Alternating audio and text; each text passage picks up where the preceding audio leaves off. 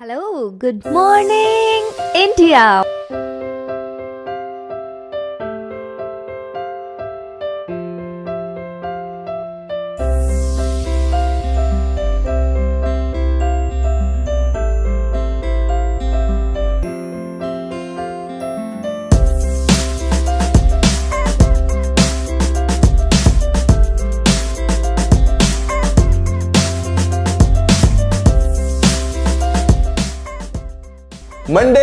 To back to back classes live from studio आज ही subscribe करें वाईफाई स्टडी चैनल को. Hello, good morning. Hello friends welcome to WiFi study changing the way of learning स्वागत है आप सभी का इंडिया के number one study channel WiFi study में which is part of Unacademy group friends तो friends आज के जो पेपर में शिफ्ट में जो फिजिक्स के क्वेश्चंस आए मैं आपको बताने वाला हूँ। मैं कुल मिला के वही क्वेश्चन रिपीट हो रहे हैं। कुछ क्वेश्चन एक दो क्वेश्चन नए भी एड ऑन हुए हैं जो अच्छे आ रहे हैं। मैं आपको बताऊँगा वो तो परेशान होने की बिल्कुल बात नहीं है। देखिए, एक क्वेश्चन तो आपका है कि जूल पर कुलम किसकी यूनिट होती है? तो आप लोग जानते देखिए, एक चीज़ मैं आपको पहले क्लियर कर देता हूँ। मैं यहाँ पर आपको कोई पढ़ाने वाला नहीं हूँ, पूरा चीज़ है कि ये चीज़ होती है। मैं जस्ट आपको बता रहा हूँ, किस तरह के क्वेश्चन आ रहे हैं। सारी चीज़ें हम लोग पूरा डिटेल में हम लोग पागल थोड़ी थे, एक डेढ़ महीने से पूरा पढ़ रखे इतने सारे लेक्चर्स पढ़े आपने इतनी मेहनत करी है है ना? तो ऐसे थोड़ी मैं एक एक चीज़ बिल्कुल डिटेल में करने बता रहा हूँ, किस तरह के क्वेश्चन आ रहे हैं। और इसी को एनालिसिस बोलते हैं, ऐसे थोड़ी मैं दो दो घंटे तक यही बताता रहा हूँ। आपके पास इतना टाइम थोड़ी है। तो देखिए, जूल पर कुलम किसकी यूनिट होती है? तो आप लोग जानते हैं किन्हीं भी दो पॉइंट के बीच का जो पोटेंशियल डिफरेंस होता है, वो क्या होता है? वर्क अपॉन चार्ज मतलब किसी एक चार्ज को एक पॉइंट से दूसरे पॉइंट ले जाने में कितना वर्क किया? पर यूनिट चार्ज उसी को हम लोग क्या बोलते हैं? दोनों के बीच का पोटेंशियल डिफरेंस तो वर्क की ऐसा यूनिट जूल चार्ज की कुलम और किसके बराबर होता है? पोटेंशियल डिफरेंस के, और पोटेंशियल डिफरेंस की यूनिट किसके बराबर होती है? वोल्ट के. ठीक है? नेक्स्ट क्वेश्चन हम लोग चलते हैं साउंड की फ्रीक्वेंसी की ऐसा यूनिट क्या है साउंड फ्रीक्वेंसी की ऐसा यूनिट यानी ध्वनि की जो आवृत्ति है, उसका ऐसा ही मात्रक क्या है? तो ऐसा यूनिट फ्रेंड्स आप लोग जानते हैं क्या होती है? हर्ट्ज होती है। क्या होती है? हर्ट्ज होती है। नेक्स्ट क्वेश्चन आपसे पूछा कि न्यूट्रॉन वाज डिस्कवर्ड बाय तो न्यूट्रॉन ये आपका वैसे केमिस्ट्री का है। लेकिन आप लोग फिजिक्स का भी मान सकते हो, जेम्स चैडविक इसका आ जाएगा, आंसर क्या आ जाएगा, जेम्स चैडविक। इसके बाद में जो क्वेश्चन आपसे पूछा गया है, वो क्वेश्चन पूछा गया है, वेवलेंथ का सिंबल क्या है? वेवलेंथ का सिंबल क्या है? यानी तरंग दैर्ध्य का मात्रक क्या है? है ना? सॉरी, आपका उसका प्रतीक क्या है? तो लैम्डा क्या होता है? वेवलेंथ का सिंबल होता है किसका तरंग दैर्ध्य का। चलते हैं आगे नेक्स्ट क्वेश्चन की तरफ़। टाइम पीरियड आपको दे रखा है point two second. Time period आपको दे रखा है पॉइंट टू सेकेंड, आपसे फ्रीक्वेंसी पूछी है तो फ्रीक्वेंसी क्या होती है? One upon time period time period आपको दे रखी है पॉइंट टू सेकेंड क्या, इसको टू बाई टेन लिख सकता हूँ डेट विल बी फाइव और फ्रीक्वेंसी की जो यूनिट होती है हर्ज होती है, आवृत्ति का जो मात्रक होता है, वो क्या होता है? हर्ज होता है। इसके बाद में जो नेक्स्ट क्वेश्चन पूछा गया है सोलर एनर्जी का सोर्स क्या है? अच्छा तो सोलर एनर्जी का तो भैया सन है सबसे अच्छा।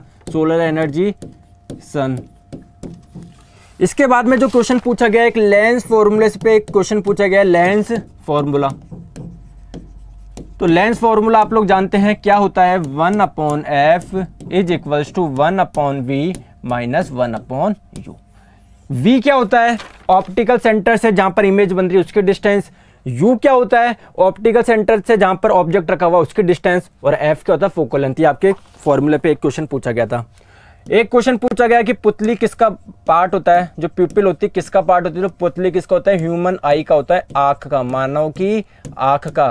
क्लियर इसके बाद में जो क्वेश्चन पूछा गया है कि गैल्वोनोमीटर को अमीटर में कैसे कन्वर्ट कर सकते हैं? देखिए, मैंने आपको रात को 11 बजे जब अपनी क्लास होती थी, उसमें क्वेश्चन करवाया था और मैंने ये भी बताया था साथ में कि गैल्वोनोमीटर को वोल्ट मीटर में कैसे कन्वर्ट करें? तो गैल्वोमीटर क्या करता है? लो अमाउंट की करंट मेजर करता है, जो कम अमाउंट की धारा होती है, उसको नापता है। साथ में विद्युत धारा की दिशा भी बताता है। ये ज़्यादा अमाउंट की करंट मेजर करता है। गैलोमीटर ज़्यादा अमाउंट की करंट मेजर नहीं कर सकता। वोल्ट मीटर क्या काम करता है? पोटेंशियल डिफरेंस मेजर करता है। विभांतर नापता है।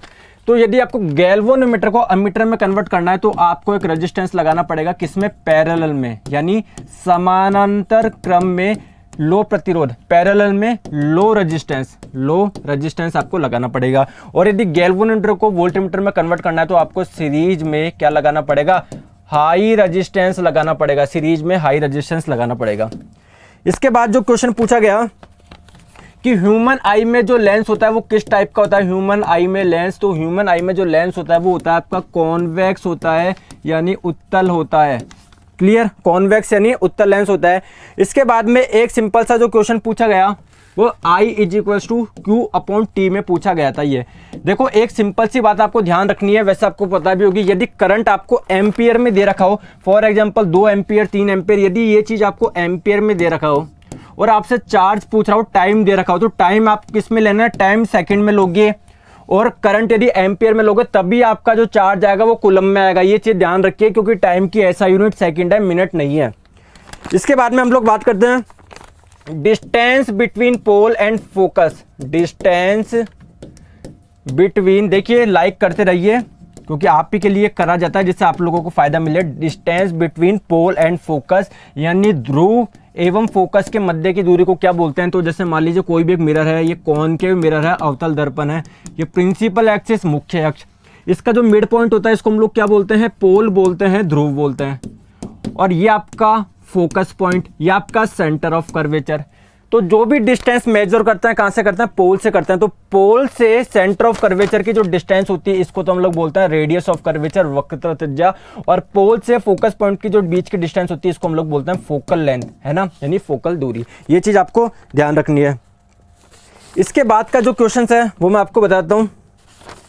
एक क्वेश्चन पूछा गया कि आर्किमिडीज प्रिंसिपल देखो आर्किमिडीज प्रिंसिपल मैंने आपको बताया था कि जो भी, जब मैंने आपको बायसी फोर्स बताया होगा, आपको याद होता हो कि जो भी कोई है ना आपका कंटेनर में कोई लिक्विड है, यदि कोई भी चीज़ आप लोग इमर्ज करोगे तो कुछ अमाउंट का लिक्विड क्या हो जाएगा? डिस्प्लेस हो जाएगा, है ना? और वो बायसी फोर्स क्या होता है? ऊपर की साइड एक फोर्स लगता है, जब भी हम लोग कोई बॉडी डुबाते हैं, ऊपर की साइड एक फोर्स लगता है, उसको हम लोग बायसी फोर्स बोलते हैं, उत्प्लावन बोल। तो तो उसका जो मान होता है ना, वो विस्थापित द्रव के भार के बराबर होता है डिस्प्लेस फ्लूड के वेट के बराबर होता है। तो यही आर्किमिडीज का प्रिंसिपल है, और आर्किमिडीज प्रिंसिपल पे ये बना है अपने जो शिप वगैरह होता है ना, ये जो आप जानते हो सुई अपनी होती है निडल वो डूब जाती है, जबकि इतने बड़े बड़े जहाज़ डूबते नहीं है। क्यों? क्योंकि वो आर्किमिडीज प्रिंसिपल के अकॉर्डिंग उसको बनाया जाता है। एक क्वेश्चन आपसे पूछा गया ऐसा यूनिट ऑफ़ प्रेशर प्रेशर की ऐसा यूनिट क्या है? मैंने बताया था, बिल्कुल प्रेशर और स्ट्रेस दोनों की बताई थी। तो ऐसा यूनिट ऑफ़ प्रेशर क्या होता है? दाब क्या होता है? फोर्स अपॉन एरिया यानी बल बट्टे क्षेत्रफल। फोर्स की क्या होती है? न्यूटन एरिया की मीटर स्क्वायर तो न्यूटन अपॉन मीटर स्क्वायर भी सही है, और इसी को हम लोग पास्कल भी बोलते हैं तो पास्कल भी आपका सही है। इसके बाद में जो क्वेश्चन आपसे पूछा गया कि यदि आपका कॉनकेव मिरर है, यानी अवतल दर्पण है क्लियर यदि कोई कॉनकेव मिरर है, अवतल दर्पण है, यदि आपने ऑब्जेक्ट वस्तु को सेंटर ऑफ़ कर्वेचर पे रख दिया तो इमेज कहाँ पर बनेगी?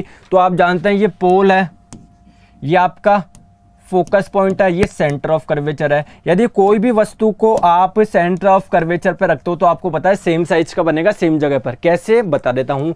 एक लाइट रे आपने निकाली प्रिंसिपल एक्सिस के पैरेलल मुख्य अक्ष के समांतर आफ्टर रिफ्लेक्शन यानी परावर्तन के बाद में कहाँ से होकर जाएगी? फोकस पॉइंट से।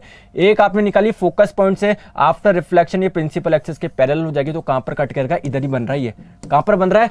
जो प्रतिबिंब बन रहा है सेंटर ऑफ़ कर्वेचर बन रहा है। और क्या बनेगा? सेम साइज़ का बनेगा, यानी समान आकार का बनेगा। और कैसा बन रहा? है उल्टा बन रहा है इन्वर्टेड बन रहा है, यानी उल्टा बन रहा है। और इन्वर्टेड और क्या रियल में कट कर रहा है क्या? रियल में। ये दोनों लाइटें रियल में कट कर है बिल्कुल। तो इमेज कैसी बनेगी? रियल बनेगा, यानी वास्तविक प्रतिबिंब बनेगा। और आप लोग जानते हैं वास्तविक प्रतिबिंब कैसा होता है? इन्वर्टेड होता है। तो फ्रेंड्स ये कुछ क्वेश्चंस थे, जो चीज़ें मैंने आपको बताई।